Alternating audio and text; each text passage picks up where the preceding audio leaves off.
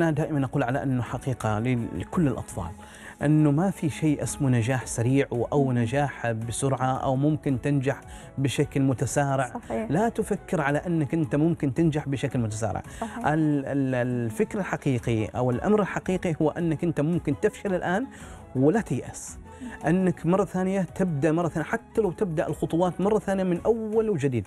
يعني تبدأ مرة ثانية خطوة جديدة وأهم حاجة أنك لا, تفكر بانك أنك تيأس. يعني دائما يقال على أنه يعني يجب علينا انه نحن نتخطى هذا الفشل بنجاحات قادمة بقوة. بالعكس يعني دائما يقال على أنه إرجاع السهم هي بداية لخطوة جديدة. الفشل هذا إرجاع لبداية جديدة مرة أخرى. فلذلك يجب على الأطفال أنهم ما ييأسوا من أول خطوة أو من أول تجربة.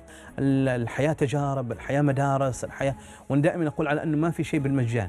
الحياة ما فيها شيء بالمجان. حتى نحن لما نفكر على أنه حتى التربية ما ما ما فيها شيء بالمجان.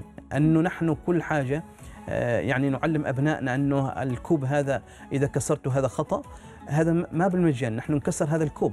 ال- يعني ال- ال- الكوب هذا إذا انكسر ما بالمجان هذا بفلوس. لذلك يجب علينا أن نفهم على أنه ما في شيء بالمجان ويجب علينا أن المحاولات تأتي بالنجاحات. جميل.